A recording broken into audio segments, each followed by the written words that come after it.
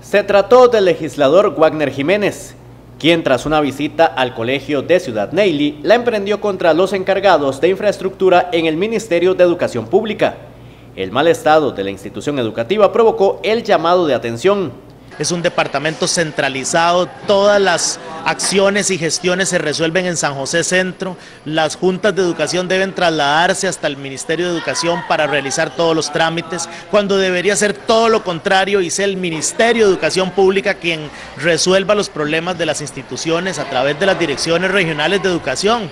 Este es un problema de gestión institucional, de estructura de gobernanza que nosotros creemos que se puede transformar, que se puede renovar.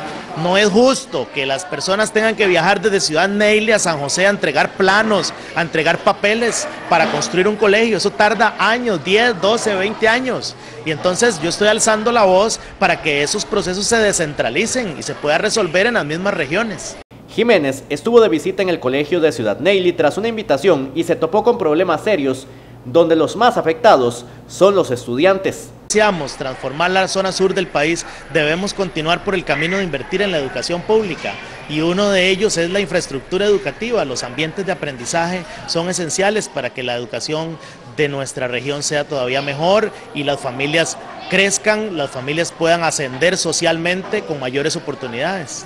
Y es que hay casos críticos de instituciones educativas que necesitan inversión en la zona sur de Costa Rica. Las debilidades y deficiencia de la infraestructura, hay aulas clandestinas con latas de zinc conformadas sin, sin terminar de construir techos, con los pisos en estados deplorables, ventilación, pintura.